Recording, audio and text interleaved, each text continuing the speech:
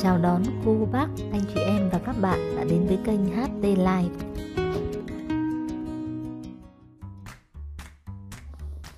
Hà Lan là một quốc gia Tây Âu giáp biên giới Đức và Bỉ. Nó là một quốc gia đông dân, có một lịch sử phong phú, thường được biểu tượng bằng cối xay gió, hoa tulip và những đôi giày gỗ.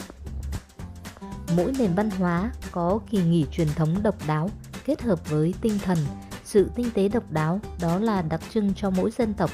Tại Hà Lan, truyền thống lễ bao gồm Sinterklaasavond và là lễ đặc biệt vào những ngày gần Giáng sinh.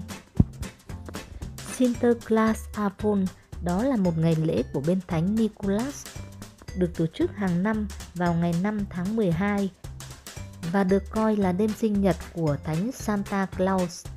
Vào đêm giao thừa này, Sinterklaas sẽ đến nhà của mọi trẻ em ở Hà Lan và tặng những món quà nho nhỏ. Sinterklaas là hình tượng tương đương với Santa Claus nhưng trông khác nhau từ người đàn ông vui vẻ được miêu tả trong văn hóa phương Tây. Sinterklaas là cao và gầy và ông mặc áo choàng màu đỏ sẫm có một chiếc mũ tương tự như trang phục của giám mục. Trong nhiều hình ảnh truyền thống, ông là người cao tuổi và có một bộ râu dài trắng muốt lễ kỷ niệm Sinterklaas Afon thực sự bắt đầu vài tuần trước ngày mùng 5 tháng 12, thường sớm nhất là giữa tháng 11.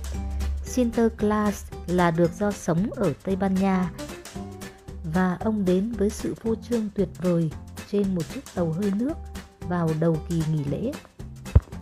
Sinterklaas được đi kèm với trợ lý của ông, đó là Peter Den, người giúp việc của ông Peter Đen có nguồn gốc từ thời xa xưa. Ba cậu con trai bị kết án tử hình vì một tội phạm mà họ không hề gây ra. Giám mục Nicholas, xứ Mira đã can thiệp và họ đã được cứu sống để tỏ lòng biết ơn các cậu ở lại giúp Sinterklaas. Cậu Peter Đen leo trèo chạy nhảy từ mái nhà này sang mái nhà khác vào đêm Sinterklaas vác túi quà, chui qua ống khói và bỏ những gói quà vào giày của trẻ em đặt cạnh ống khói. Đó là lý do tại sao tay chân mặt mũi của Peter lại đen thui như vậy. Đoàn tùy tùng hộ tống thánh Sinterklaas da đen này luôn vui nhộn, hài hước. Họ là những người bạn vui tính, phát bánh kẹo, vui chơi với trẻ nhỏ trong ngày lễ hội. Trong ngày lễ hội Sinterklaas, cả trẻ con và người lớn đều thuộc lòng những bài hát ca ngợi Thánh Sinterklaas và cùng nhau ca hát, nhảy múa. Đây là những ngày lễ hội trẻ con Hà Lan rất háo hức chờ đợi trong năm.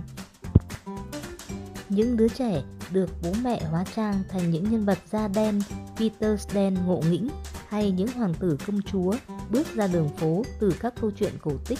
Những đứa trẻ Hà Lan được báo chí quốc tế đánh giá là những đứa trẻ hạnh phúc nhất thế giới.